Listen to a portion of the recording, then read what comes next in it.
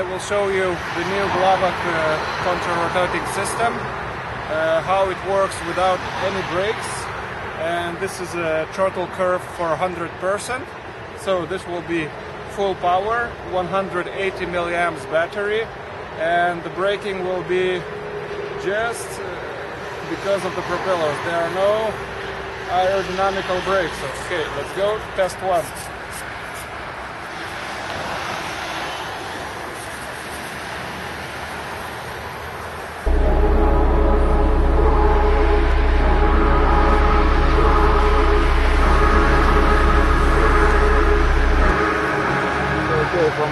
Full throttle.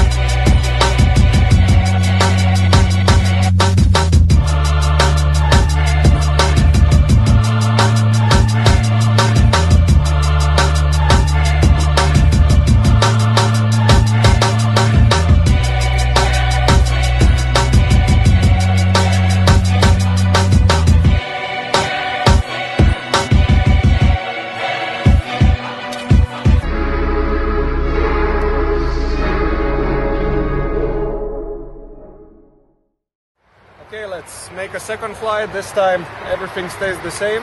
Same capacity battery, 180 milliamps. And we just add air brakes. Wind is picking up, but let's see how it goes.